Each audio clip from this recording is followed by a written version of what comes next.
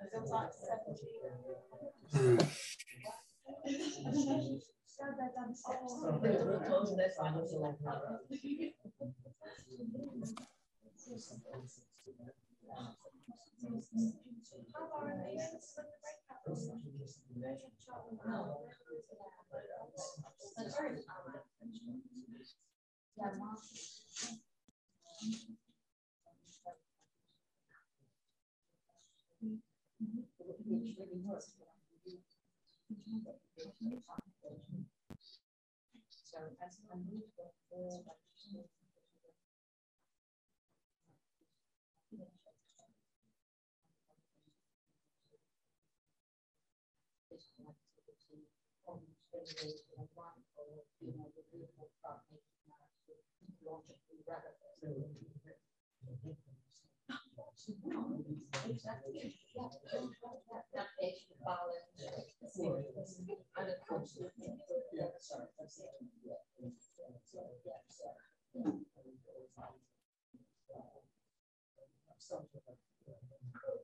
about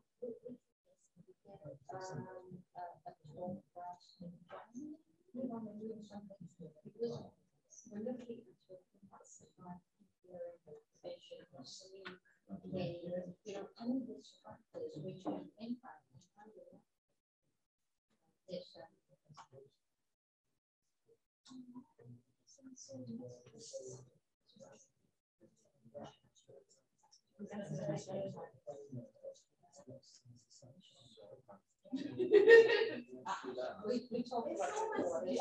Yeah, right, it's in the room, I'll pass it to him, but it's not gonna have the-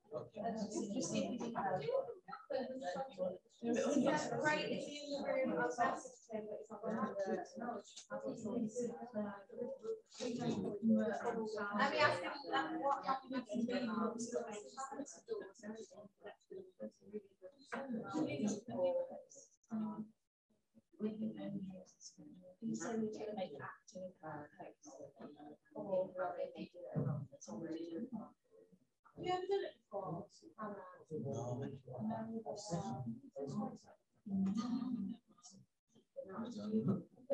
just see. I just thought you were don't want that. My child is just like, oh, I use my phone charger, my phone's like dying.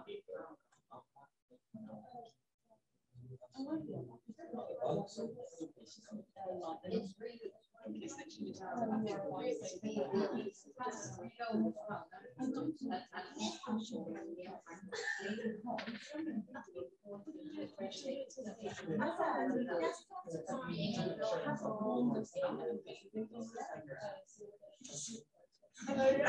wearing one so. And then.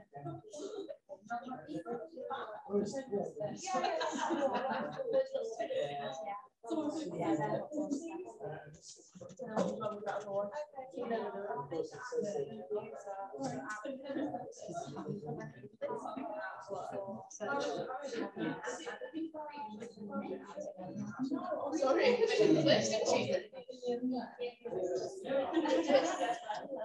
You know when you start and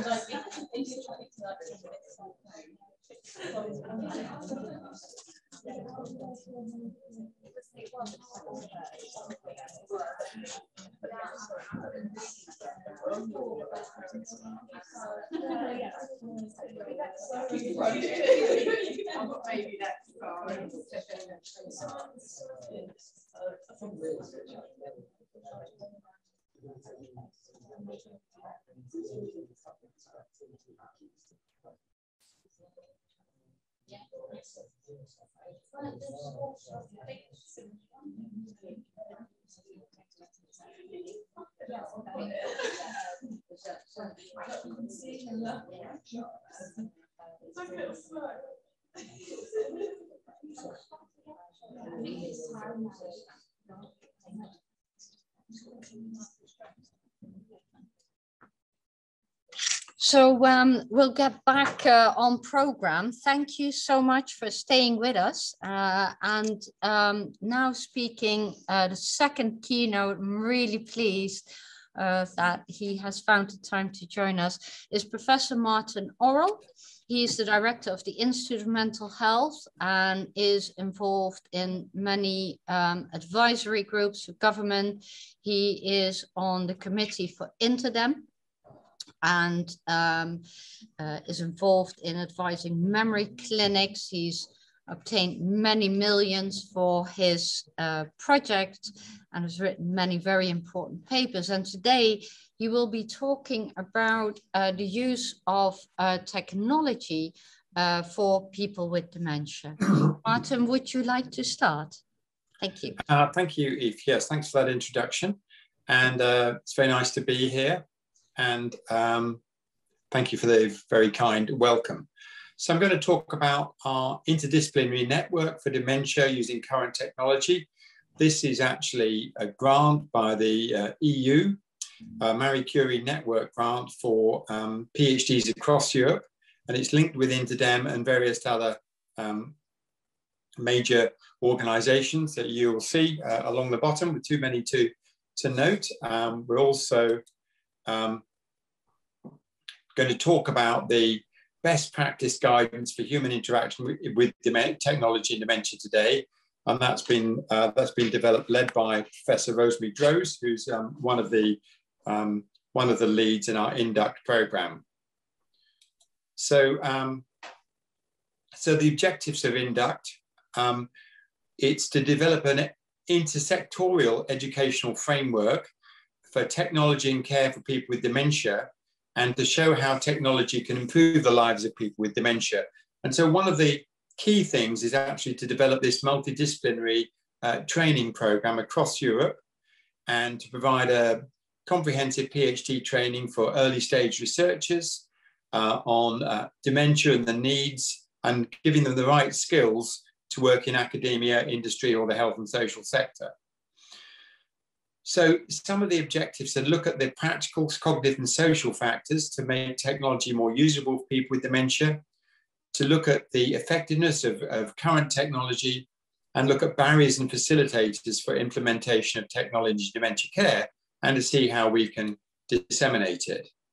Now, this is a very nice uh, diagram described by Rose-Marie Dröes. And when we developed the proposal for Induct, one of the key things was actually that um, there was a lot of technology out there. Um, sometimes it hadn't been designed with people with dementia. Uh, sometimes it was being marketed without having been fully tested. And uh, there was a, a constant appetite for more and different types of technology. And we wanted to look at what technology was available and to actually do individual projects on those um, and to create some practical research to help technology um, be better geared towards people with dementia. So you can see we've got the, the three domains there, and there's the um, four early stage researchers in the first one, then there's um, six in the second and five in the third. And the cross-cutting themes are looking at um, practical, cognitive and social factors, looking at effectiveness and looking at implementation. So, um, and one of our goals was developing the consensus guidelines. So you can see how the training program worked. We had a mixture of the network wide and the local doctoral training. We involve people with dementia um, through the European uh, Working Group for People with Dementia. There's work on enterprise, on policy, implementation and dissemination. So you can see it's not your average training program for PhDs. And as you can see down the bottom, there's a, a great diversity of skill sets that people get. But so we weren't just training people in research, but we're training them in the broader skills around policy, entrepreneurship, PPI, and implementation. Now, the idea is the whole idea behind a lot of European research, pro research programs is to is for the betterment of people in Europe and for um, adding to the prosperity of Europe as a whole. So it's good, uh, important goals. So the idea is that it was a, it wasn't just 15 pieces of research, but it was training to create um, researchers who could have a range of skills and be um, uh, hireable in a range of fields, including technology, uh, academia, public health, um, and to have a broad knowledge base. And so, in a sense, it's actually providing uh, people that Europe wants to hire. And um, so that will help prepare them for senior academic positions, but also help them for understanding issues around uh, the industry, around um, the Alzheimer's Society and the Alzheimer Europe, and uh, getting good understanding of the commercial as well as the technical requirements. So as part of our collaborations, we actually linked with um, the Alzheimer's, Alzheimer's Disease International. One of our students did a, did a, did a, a secondment in Indonesia. That was Harleen Rai, who worked with me. Um, under Alzheimer's Disease International, we worked closely with Alzheimer Europe and the European Working Group for People with Dementia. We also had uh, um, as partners the World Health Organization and the World Federation for, uh, of OT, but also we had uh, three small and medium enterprises, which were uh, technology companies which were working with us directly, where people did secondments, and then Mindtech, which is a, a kind of technology uh, escalator, if you like, again based at the Institute of Mental Health in Nottingham, which has you know remarkable connections with industry but it, it serves as a real interface for linking up uh, technology with researchers. So these are our 15, uh, 15 uh, researchers we had. And um, so we're looking at technology to support everyday life.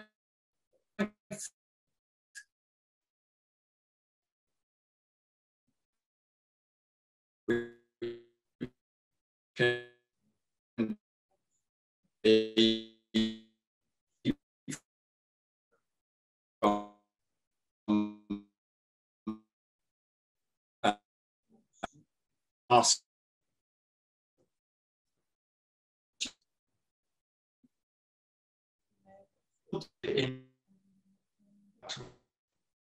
taking uh, training, the training um,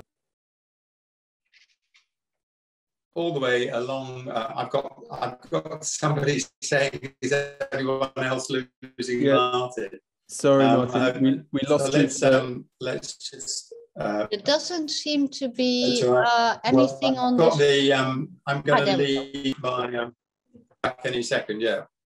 It's well, back. I tried clicking on a link, and um, it obviously didn't come up on my um, on my iPad. But there we go. Um, so that's the. You can have a look at the dementia link. I could see it on my my other computer here. Um, and so we're looking at the main objectives, looking at practical cognitive social factors, effectiveness, and facilitators.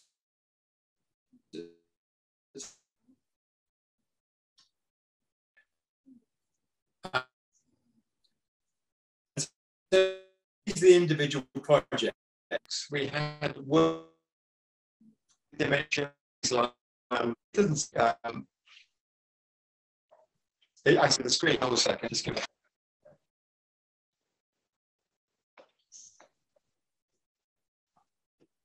Okay. Turning, somebody's advised me to turn my graph. I'll try that. I think it's since I went to the, um, okay. Yeah. Uh, maybe maybe if you turn your camera Okay, off, Martin. I've done that, some- yeah. Okay, thank you. Yeah, I've done that. Um, so these are the 15 induct um, Yes. projects. Empowerment and surveillance for people with dementia. So this, for example, is looking at monitoring systems for people with dementia and the stigma and the human rights issues. And they found that the monitoring systems were the same systems were marketed for um, prisoners and for animals as well. So they're saying, oh, you can just use these for all sorts of, uh, of groups. But actually, um, there's lot of human rights issues in relation to surveillance that shouldn't be forgotten. Um, brain training is an exclusionary process for people with dementia. In fact, that they, you know, could have difficulty accessing these kind of things, and actually, it's it's uh, can be stigmatizing for them. Um, looking at access to everyday technology, for people in Europe and internationally. Um, developing uh, cognitive stimulation therapy for a tablet system. We've got that now called Thinkability looking at how computer technology can enable um, participation for people with dementia in care homes um, and using arts and crafts type of technology, exergaming, um, using, using uh, tablet technology for health promotion and social inclusion, um, using e-monitoring to help uh, monitor people's, uh, people's uh, well-being, um, and then other work on palliative care and advanced care planning, um, piloting of the iSupport program for family carers, which is WHO program, and Gradior, which is a Spanish um, a, a, a, Spanish uh, cognitive rehabilitation program for people with dementia. So it seems to be taking a few seconds between going on to different programs now. Um, just give me a, uh, hang on a second, okay. Okay, so it's, it's just taking a few seconds to go across. So these are the early stage researchers and their, um, and their supervisors. And now these are the, um, the best practice guidelines. So we got all the 15 uh, INDUCT projects to produce recommendations. So we've got a summary recommendations of improving the usability and effectiveness of technology. And we've got a, a website, an interactive website, which can be um, updated with new recommendations. And we've got a current European project called Distinct, which is another 15 uh, PhD projects uh, on technology and dementia care, and particularly looking at social health and we want to look at the user, usability and effectiveness in the future. So, um, so this is the uh, guidance. If you want to go to the website, actually was going to do that now, but I disconnected last time, um, and you can see and um, so the best practice guidance have now published and they're available as a PDF, but also as an interactive website linked to our uh, Dementia Induct website. And you can see the recommendations are in the three groups around practical, practical and cognitive and social, effectiveness, and also um, implementation, facilitators and barriers. So there's two formats to that. And uh, those are the particular areas for where you can start to search with the recommendations. And you can go on to uh, select which target group you want. So whether you're looking from the point of view of user of technology, developer, researcher, care provider, policymakers, or the media. That's very hands-on. And then the recommendations there can link with that. And so you can see each of the recommendations um, uh, are organized into, into the groups around um, different areas. The first one around usability, and you see how that breaks down into the three themes, everyday life, meaningful activities, and healthcare technology. And so here's one of the recommendations. So this is about um, technologies being very important, but there's uh, problems with the increasing complexity and how people rely on them at home, in um, traffic situations, or healthcare services, and the user's ability to manage products and services has often been neglected. So people with dementia often don't use technology because it doesn't match their needs and capabilities. Um, so this is about surveillance technology. So it says providers and marketeers of surveillance technology shouldn't communicate with a wanderer with dementia discourse. They should focus on user person centered products and use this in a non stigmatizing way because it's not just aimed at the family care, it's actually the people with dementia who, um, you know, who it matters for because they're the people being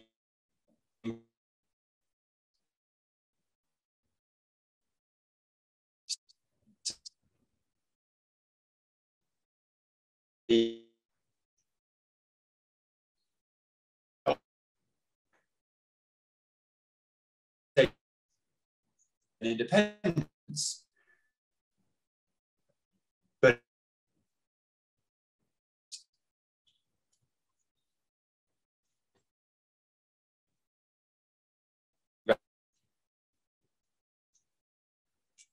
Martin, I, I think some people are having issues in um, in hearing it. Um, not sure what we can do it's about already uh, stigmatized. So that's shown there. Um, she did some wonderful work on this. You can see she's already um, published a lot of uh, papers.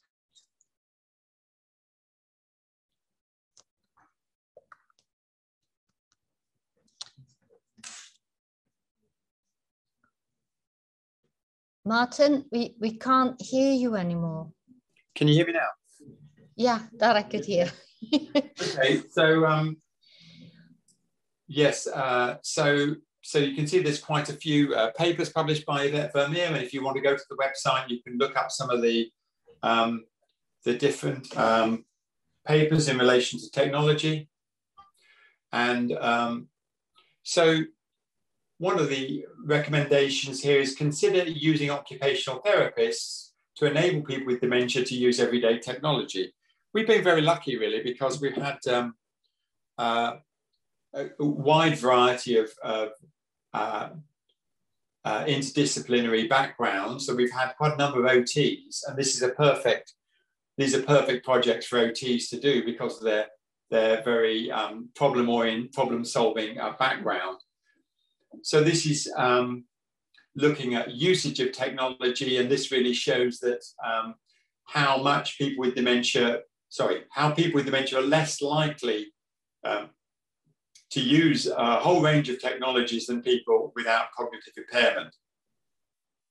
So they mapped everyday cognitive technologies, um, up to 31 different types um, for people with dementia, people without cognitive impairment, and they looked at what people are actually using. So we see that technology itself can be empowering, but it's also disempowering because uh, people can't use it or they've not been given the right kind of uh, coaching and support to use it.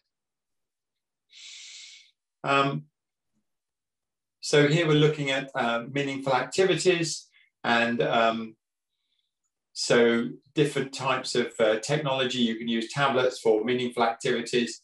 Um, you can look at how this is uh, um, how this is evaluated. I won't put the video on now because um, might lead to some problems, but um, this is about um, different ways you can you can solve things before you're testing the effectiveness. And we know that actually the practical issues around the effectiveness are very crucial. And there's, um, there's also other work done by Frans Verhey and his team looking at um, everyday fluctuations in things like mood and behaviors and cognition in people with mild cognitive impairment or care or carers to better understand the variations. And so this is the short video on um, on understanding um, minor changes in everyday or small fluctuations in everyday, um, everyday mood and cognition. And it, here is one of the issues around um, exergaming. So this is to do with, um, says technology is, is, implementation is not just about effectiveness, but also on facilitating um, uh, factors that are impeding things, which can include privacy and autonomy and obtrusiveness. And there's obviously issues around stigma and, pers- and personability and affordability. So this is about being able to get day centers to implement exergaming. And so one of the things is they say, well, actually, you need more than one person who's on board and trained in the in the materials and the technology to use it. Because if there's only one person, anytime that person leaves or goes to another job, um, you know, the, the activities are forgotten. I'm sure this is not just for exergaming, but this is for lots of technology related uh, activities.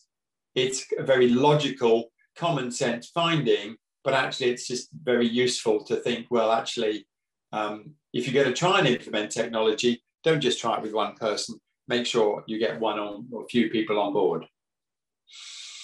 Um, so you can see we had um, 56 recommendations overall, looking at uh, everyday life, uh, meaningful activities, uh, healthcare technology, and uh, they were separated over the three different areas. Um, so here's some summary, then some new recommendations. Uh, taking a multi-perspective approach when, when getting public space technologies to improve uh, usability. One of the things is that when some initial work was done in, um, in uh, supermarkets, they found that the layout of supermarkets wasn't designed to be harmonious for people with dementia. It was actually designed to sell more products. So there might be things like uh, mirrors reflecting the fruit and the vegetables. That, that could be perhaps confusing if people are seeing everything again in a mirror. Um, so the importance of OT assessment to help identify people's needs. Um, think about the benefits for family carers when people with dementia use technology. And of course, there are things like thinkability, where the person with dementia, um, but also the family carer can use technology together. Um, again, a very common sense thing, but ensure the technology is compatible with a range of relevant platforms to promote implementation.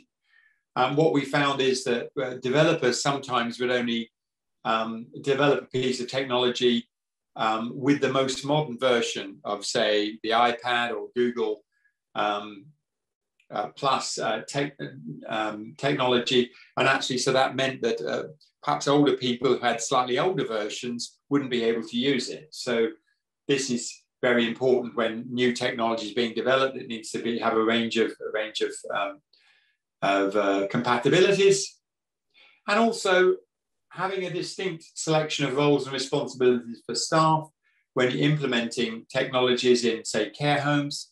Um, one of our pieces of work was uh, by uh, Alini, and uh, but also and she was looking at the use of um, of iPads in care homes and um, to use arts and crafts technology. It was very popular and um, you know an interesting piece of innovation. So the hope, what we're hoping for for these best practice guidelines is they're relevant, their knowledge and recommendations for further development. There's clinical relevance, so we can look at usability and implementation. And we hope that they um, contribute to the availability of user-friendly, useful and easily implementable technology uh, for people with um, dementia and their carers and a more dementia-friendly society. So um, we're implementing the guidelines through um, the INDUCT, uh, the National Alzheimer's Association's Alzheimer Europe, publications in uh, scientific and professional journals, discussing them with stakeholders at conferences, and um, we want to make use of it as well. And I'll thank Rose-Marie Dröes, who did most of the slides um, for this. And uh, before I finish, I'll just mention Interdem, because Interdem's a European Association for um, Research in Dementia Care, and it's a network across Europe. I think about 20 countries are involved. And if you're an established researcher with a PhD in publications, you can become a member of Interdem. But we also have a really active um, Interdem Academy, where um, uh, where we have an active Interdem Academy, where we um, provide opportunities and training sessions for um, PhD students and early stage researchers Uh, that includes traveling fellowships, uh, workshops, and a variety of other um, opportunities for um, presentations uh, linking with Alzheimer Europe. So do think of joining the InterDem Academy, um, think of joining InterDem, and uh, we'd, we'd, be very pleased to have people make inquiries. You can always write to me if you want to, and um, or look at the InterDem website. So um, the best practice, finally, the best practice guidance um, sets the scene for the new uh, grant that we've got, which is running into 2023, um, looking at the impact on social health. So what's social health? People being able to fulfill your potential in society, self-management in daily life and social participations and meaningful activities. So part of social health is being able to fulfill your societal obligations. And the distinct recommendations will be rolled into the INDUCT ones. So um, thank you very much for listening. There's the um, website link at the bottom. There's Rose-Marie Dröes' address if you want to contact Rose-Marie about the guidelines. And uh, by all means, um, you know, feel free to contact me um, directly about the project or if you'd like about InterDem. Thank you. Thank you so much, Martin. That was uh, a really interesting talk. I'm, I'm, I'm so sorry that we had the technological issues. I think it was kind of illustrative of, of some of the issues you mentioned and, and were mentioned before is that unless we have uh, a big team of people around us. We were constantly comparing yes. here. It's like, where is it at? And it's oh, it's because he has his camera on, or maybe not. You know, frantically trying yes. to get you back. Um, but uh, I think your your guidelines, the developed guidelines, will be really useful for our thinking about the next grants. Um, you know, really great to have that. Um, one of the really interesting issues you came up with was the use of OT specialists. And this is something that came up before. Almost, um, am I right in thinking that this, these are translators, people who sort of translate the academic recommendation towards the patient well, in a more um, practical point of view? It, it's a it's a variety of people. I mean, we've had um, we've got some occupational therapists on the distinct program at the moment. We've got one from uh, Singapore, we've got one from uh, Trinidad and Tobago. So we were able to recruit people from all over the world. And this actually um, for occupational therapists, it gives them a really good chance to, um, to develop their academic skills in something that's really very relevant to their everyday work. Mm-hmm. So um, when you when you get an OT as a researcher, I think it's uh, you know you you get this added expertise. Um, yeah. And so they've done some really important projects about uh, the previous ones did work on how people can travel around London looking at the various technological obstacles, you know, including, mm-hmm. you know, mm-hmm. using travel cards, uh, you know, understanding how all the gates and things work and how maps work these days. Um, so, but in practice, I suppose one of the things is um, there's, I think we're in, we're in a bit of a gap now because we're in a, in a situation where um, older people are using much more technology than they were in the last mm. two years. I mean, there's been incredible, I think, leap in technology use by by myself as well. Um, you know, using Zoom now and doing everything online. So technology use has really accelerated, but for the people with dementia, you know, they'll they'll be lagging behind, not just because the technology needs to be better, better geared up towards them, easier to use, more practical, but also because they've not used that they may not have used technology before they had dementia. That's right. So actually it's the, you know, the dementia's um, taken over before they've had the big technology leap forward. And so it's a bit, I mean, it's scary for me as well, but it can be a bit scary and, um, you know, disorientating for people because actually they, you know, they, um, they can be a bit left behind. And so we need to make bigger efforts with people with dementia to help them um, use technology, but create technology for them mm-hmm. that truly involves them in the design and the testing. Yeah, I think so. Two elements come back here, which is working very closely with people with dementia themselves perhaps also using persona for the design. The other thing you mentioned was um, really interesting about who is going to help people. And if we're talking about staff, and this is something Tracy mentioned with Mencap, is about training the staff. Now, one of the issues in social care, obviously, and, and, and healthcare in general, is the turnover, incredibly high turnover of staff, and our inability to keep people on such low salaries with low job satisfaction, high workload in position. So something has got to be done that obviously perhaps at a policy level, you know, by increasing pay, obviously. But on the other hand, I think also the uh, did you find anything in your research about increasing job satisfaction? For instance, the Tovertafel, eh, this Dutch uh, piece of equipment, you know, which is such fun um, for people, well, staff, and people with dementia.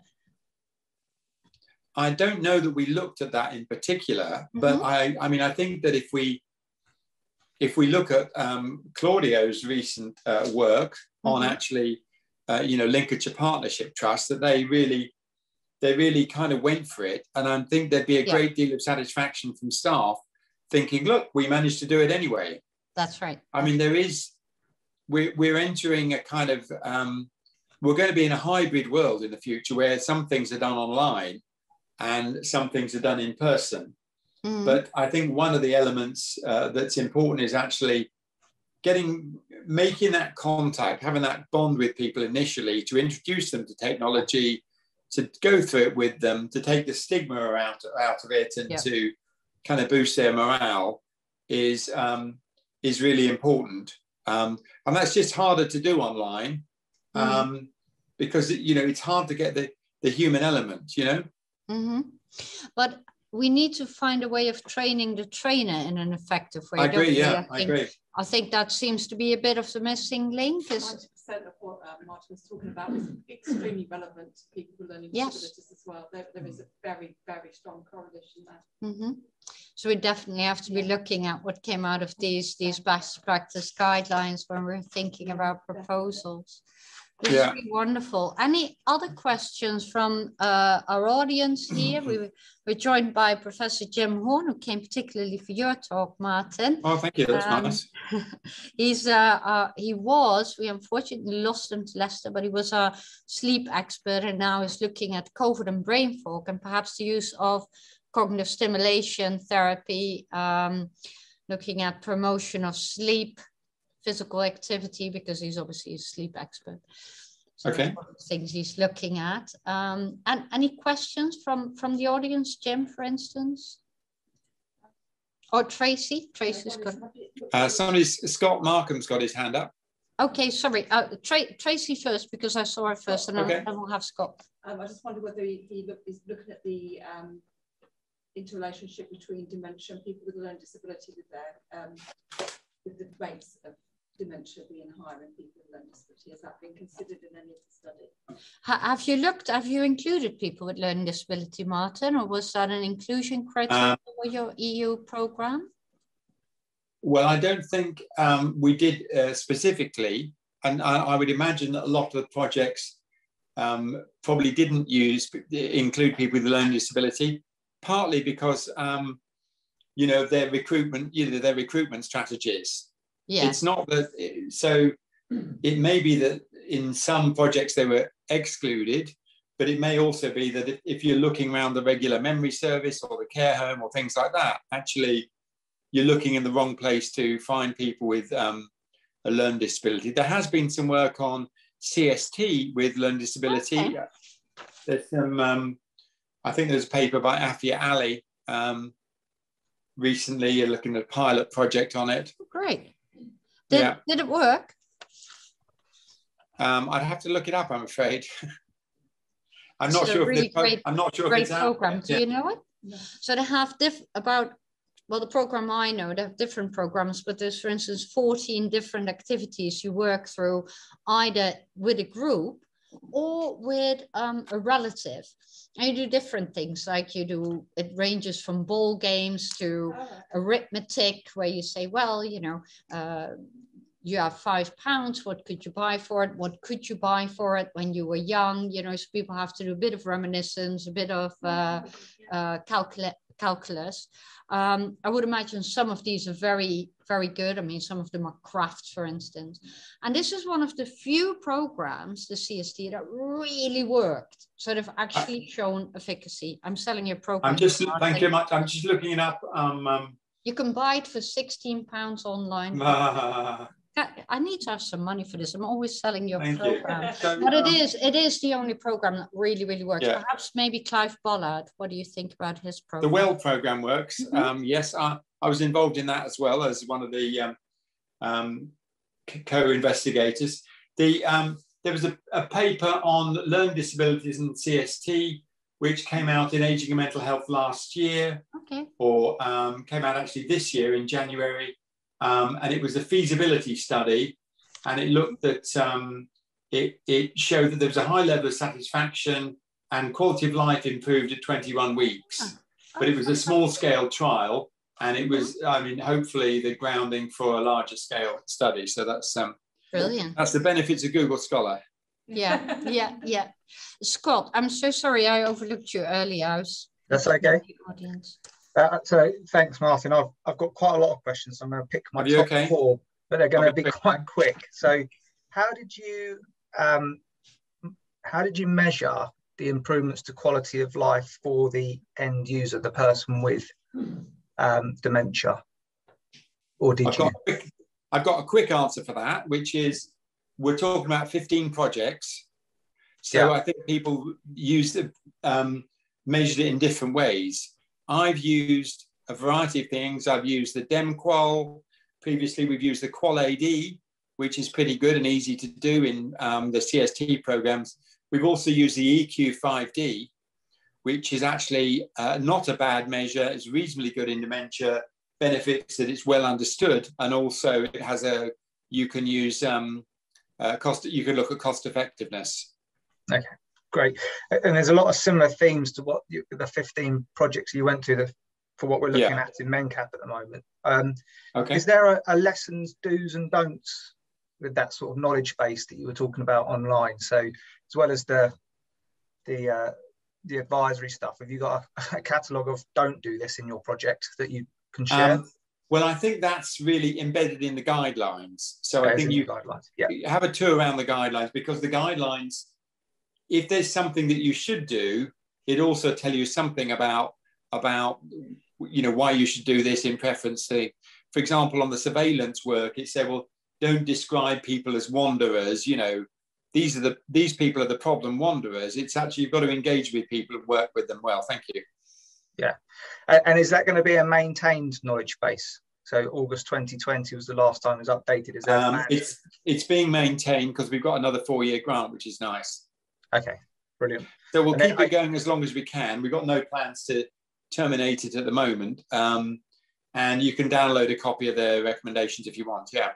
And probably the one that's more difficult. Are you able to share any of the cost of any of the programs offline? Just if we were building rough order magnitude, certainly around the empowerment and surveillance and the use of and access to everyday technology. I don't know if there's a well a um, breakdown of spend and what you got for that spend?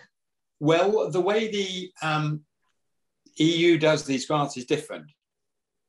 Because what the EU does is it gives every PhD student or ESR, it gives them a, a fixed salary based on what country they live in, and they have some training and research costs to do with that. So actually, um, you know, you could divide our grant into 15 and say, well, this is the overall cost for people. Um, and um, so the the cost is it's not like a regular research project where you right. say, okay, we'll need a research assistant at this level. You just put in, and then the EU says, okay, well, you, we pay you this much because each each um, researcher gets this salary. If you're in the Czech Republic, you get different from in the Netherlands, say, okay. and then there's this amount of money to go with it, which is for training. So they are generously funded. Yeah. Um, probably less meaningful for us the way you've just described it as well. So yeah, and it is so, so, yeah, uh, it's okay. a PhD student plus a bit extra. Yeah. Okay. Thanks very much, Martin.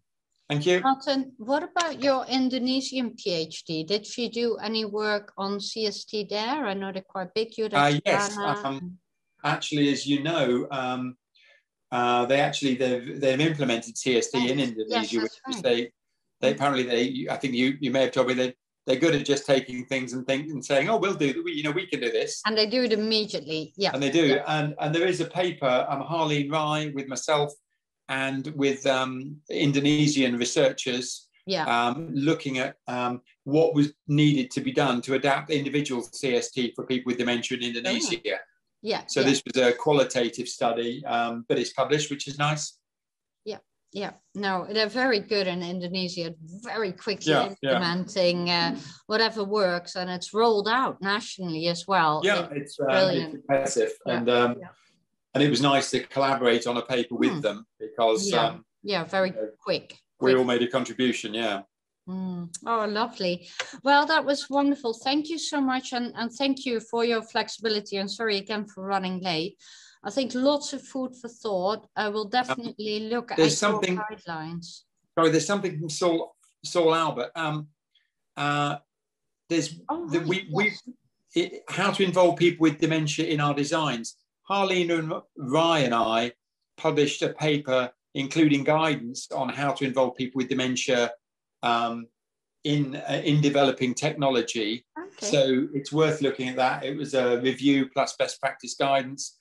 Also, um, Claudio and I and other colleagues published a paper a few years ago on having people with dementia as peer researchers and what were the things to consider. So um, uh, Any particular journal? Do you remember the journal? Um, I think that was the International Journal of Geriatric Psychiatry was with Claudio. Um, the one with Harleen Rai, if you just put Rai, R-A-I and Oralin, you'll, um, yeah. we published a few things together, but that'll, that'll come yeah. out quite easily. Yeah, thank you.